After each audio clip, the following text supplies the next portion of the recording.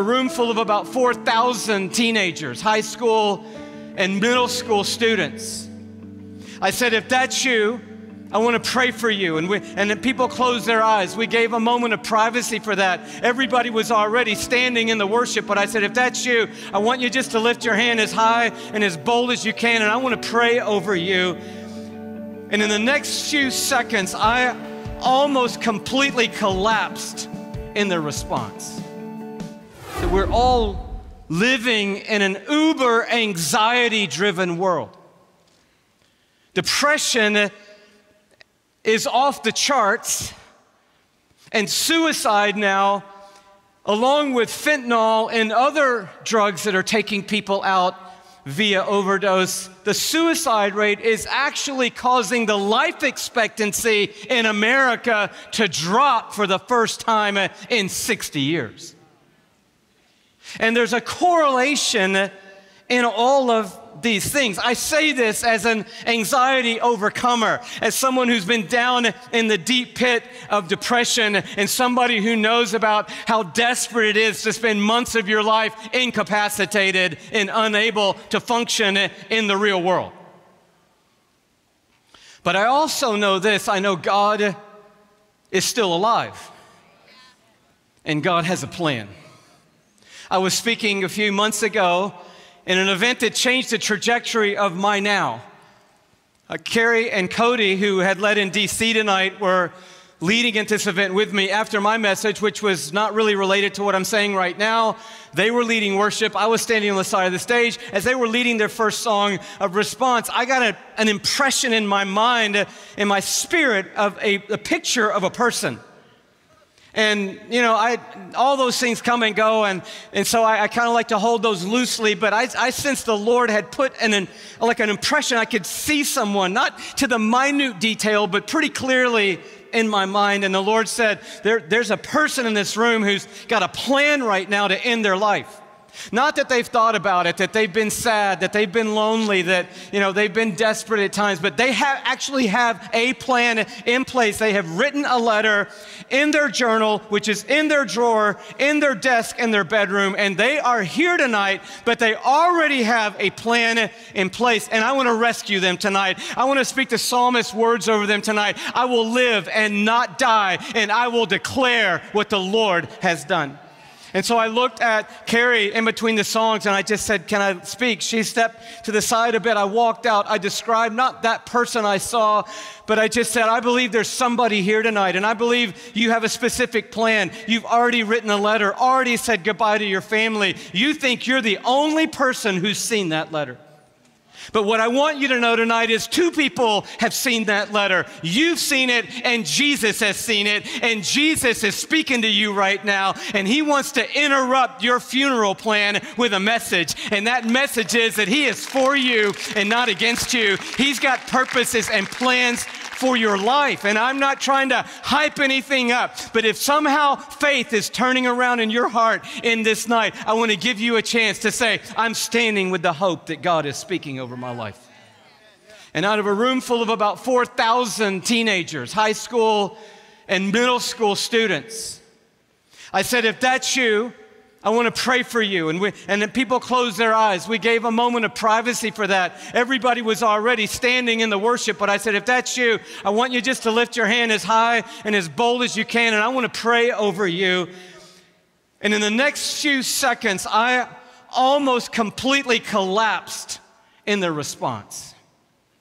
Because I want to say, and I, I can't specifically remember every detail about that moment, but out of that 4,000 people, I want to say somewhere between 100 and 200 hands went into the air. And we prayed, and I believe God worked and moved. We, we left that room and went back into the back room where everybody was kind of hanging out the leadership as we left. And one of the youth leaders who put the conference on walked up to me and said did, did you plan on doing that at the end? I said no god just put a picture of this girl in my mind and i just felt like that heaven wanted to reach out for her. And he said well it's, it's really amazing that God led you to do that because maybe you don't know, but where you're standing right now is the zip code with the highest teen suicide rate in America. So the next day, I got a message via social media. It's kind of interesting how that can happen. And the message was from someone who just wrote, I'm paraphrasing now. If anybody ever asks you in your life if you've been a part of saving someone's life, you can always say yes. And I understand it's not me, you get that. And they wrote, You saved mine tonight. I already have a plan in place and had already planning, planned a few days after this conference for the place and the time that I was going to end my life. And I've already written my letter to my family. But tonight, God changed my heart. And I am not going to die, but I'm going to live and be a part of God's purposes for my life. And I couldn't help, you know, you, we always live in that that teetering zone of do, do I click on the profile and see who the person is, or I just read the comment and move on? But we click on the profile. And so I clicked on the profile, and the profile was the girl. It was her. And that set my 2018 and into this night on a trajectory of wanting to speak life into an anxiety riddled generation. To not accept the premise in culture, which is, hey, it's just a part of the deal. We all know the words of Jesus the thief comes to steal and to kill and to destroy. But Jesus said, But I've come that you might have life and life to the full. In other words, I didn't come out of the tomb so that you could be 78% of you.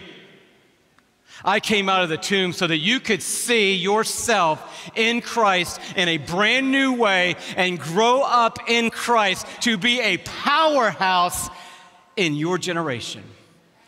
And I believe that this is what God is speaking over you, over each and every one of you. And whether you had the best father or have the best father, and that helped you move forward in life, or whether this no fault divorce thing, which by the way is a misnomer because that's what you heard, right? It's not your fault, baby girl. It's not your fault, Ace. This is not about you, sweetheart. This is about daddy. This is about mama. This is about us. This is not about you. But it's interesting how many times we hear the phrase, this is not about you, but in our teenage minds or our childhood minds, the words get translated as they're coming into our heart. It's all about you. So there is no no fault anything. It's a crater that leaves a hole and a gap. And when you combine that with this screen in front of us, which is a tool for good. It does allow us to stay connected with people and encourage people around the world and tell people about the things that matter in life. But it also is a constant beacon of terror and of evil and of taunting and of comparing it teaches us how to filterize everything. It's bombarding us with blue light, which apparently is uh, making us less smart, and uh, it's making us crazy and keeping us up at night. And when you combine all those things together, there's no doubt that we have an issue here. And at Passion 2019, at the end of this thing, we want to send you out. That's our goal. In fact, we ended Passion last year with a message about a flaming arrow being shot out of the bow of the hands of God into the world. And we want to send you out at the end of this conference. But before we can send you anywhere, before God can send you anywhere, you need to know that God sees you right where you are. So God isn't just interested in getting you to do something, He wants you to understand that He sees you just like you are and right where you are, and He loves you, and His prayer for you is that you let Him set, him, set you free in these days. And you're like, well, what does that look like to be set free? I believe tonight it looks like coming to really believe deep down in the deepest part of you that you are a loved son and a loved daughter of a perfect father. We read this in Romans chapter 8 where Paul is unpacking for us the power of the gospel. And when he comes to verse 15, he says this For you did not receive a spirit that makes you a slave again to fear, but you received the spirit of sonship. And by him, by this spirit, we cry, Abba, Father.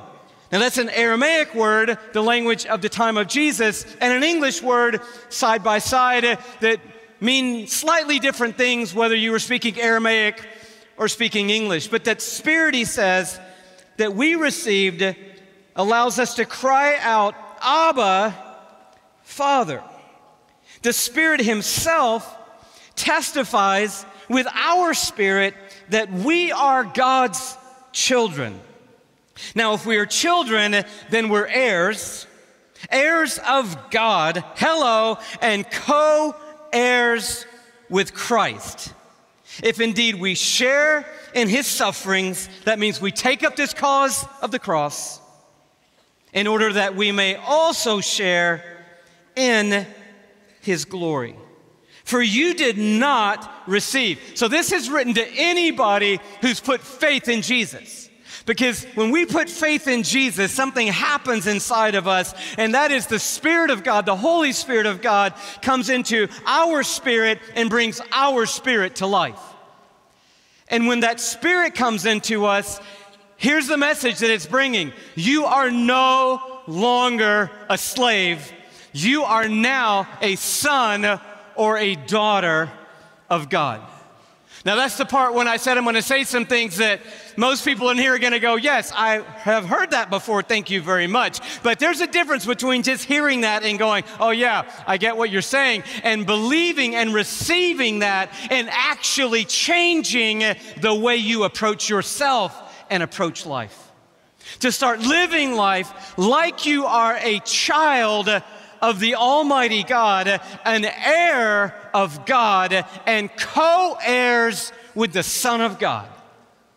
That if you take up this gospel message, this cross of Jesus, that you are going to be in the glory that is coming through the finished work of Jesus Christ now and into eternity. At TBN, our mission is to use every available means to reach as many individuals and families as possible with the life changing gospel of Jesus Christ. Thank you for helping make the gospel of grace go around the world. Without you, we couldn't do it. God bless you.